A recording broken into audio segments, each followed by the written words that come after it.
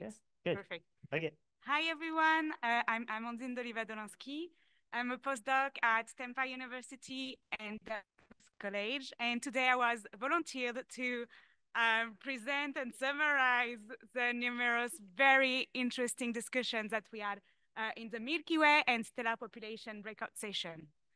So um, first of all, the first day, uh, we actually talk about how to incorporate machine learning um, in this new big data era uh, in order to reduce the number of uh, false positive, to explore and discover new uh, interesting objects, uh, but also how can we incorporate the knowledge domain, the domain knowledge, sorry, into this machine learning.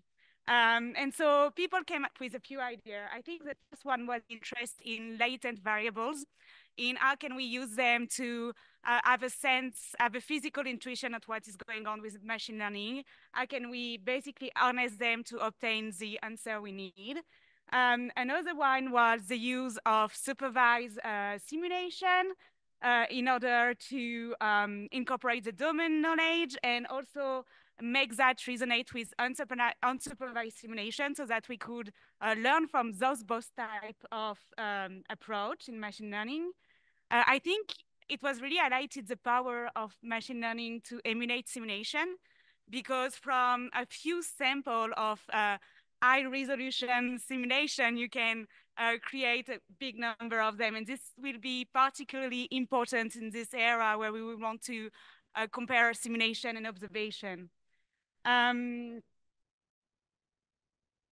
okay, also, uh, it was uh, said that we had to be very careful with how we deal with the noise.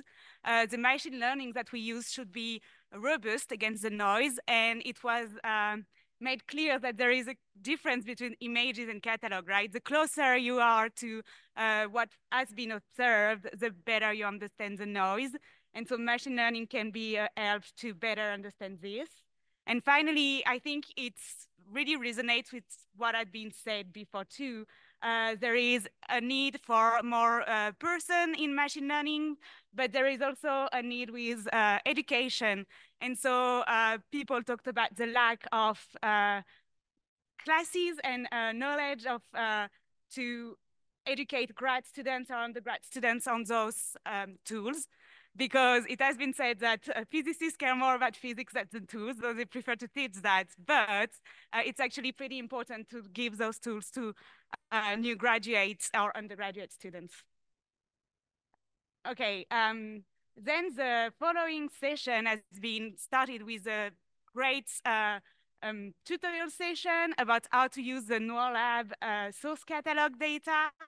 Um, I just want to say it's a great catalog and actually uh, the um, Jupyter Notebook full of example on how to use this is in the Slack channel. So if you can take a look, it will be useful for numerous things. And actually, it sparked some conversation around it during the second half of uh, this um, breakout session.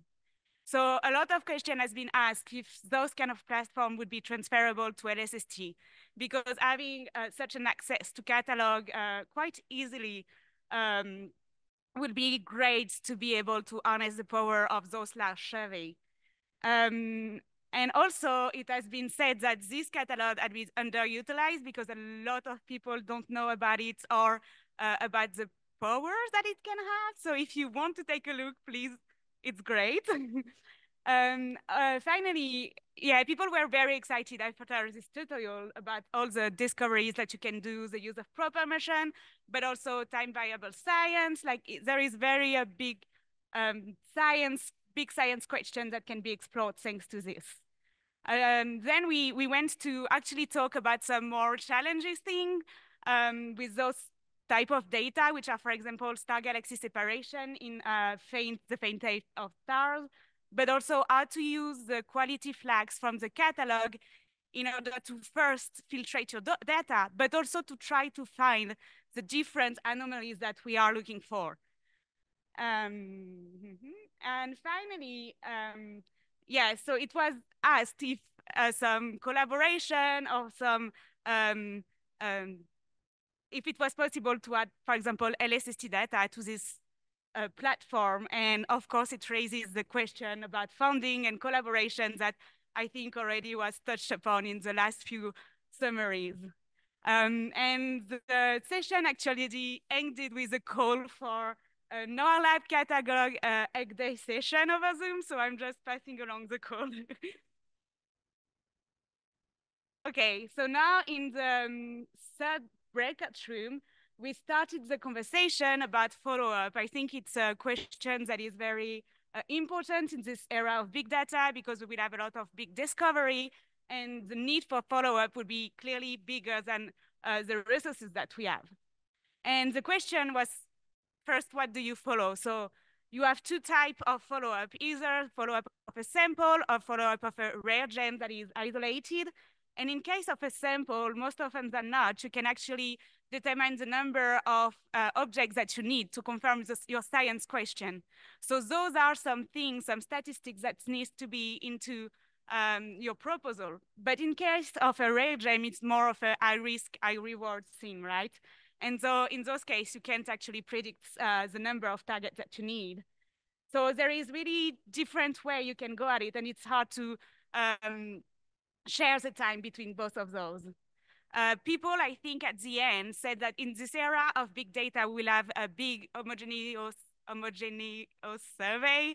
Um, and so it will lead to a lot of uh, population discovery that are discovered the same way and so in a uniform way and so maybe we should get away from trying to understand precisely uh, one object but more think about population um, yes, and then it was clear that uh, there will be problems and oversubscription with uh, spectroscopic follow-up uh, for different sub, uh, science case. Uh, because a lot of them actually require, uh, require a big precision. So for example, 10 meter class telescope. but it was said that there's also cases where you can find cheaper alternative. And so people talked about a narrowband photometry to obtain metallicity, for example. Um, it was also brought up that we should not forget that some follow-up uh, needs timing and other don't. So we can be flexible in, in function of that too. Um, and finally, it also raised a question of equity because most of the people that would be able to access those follow-up will uh, be people in institutes that have proprietary access to those big telescopes. And so it raised the question of how can we um, make those follow-ups uh, not depending on in which institute you are. And so I think there was a big push for more collaboration also, which resonates again in all of those summaries. summaries. Uh, the last question that we tackled was kind of a summary question. It was about um, what people got out of this conference, uh, what are they most interesting about in this uh, big data era, and what are the big challenges that they see. And I think that machine learning was one of the big highlights, the fact that it is a tool that we can use to really harness all the data that we will have to do amazing discoveries. Um, but a lot of people actually said they didn't feel uh, prepared to use machine learning. So it's really a call to have um, learning capacities or to uh, uh, hire more um, versed people in machine learning and to bring along different communities, uh, for example, the industry community, um, in order to be able to merge uh, observation people, for example, with uh, machine learning people and create uh, great things. And it was said that this conference was a great example because it really raises those questions and merge different type of people. Um, then a, ch a, challenge was raised with how can we combine all those big data survey uh, together. Uh, for example, LSST with uh, Euclid or LSST with Roman, and discussion are ongoing, so it's a good news. And finally, I think a question was raised about the computing capacity because all of that, machine learning, big data sets, will require a big computing capacity. And it's once again raised the question of equity the institutes will we have uh, access, access first to those type of computing are the same that have a lot of um, follow-up power, for example. And so there may be a way to create a public uh, computing power place But once again, it's a difficult question, I think, uh, hard to answer. And we finished all the session by a reminder that it's great to be an astronomer in those big data era. Thank you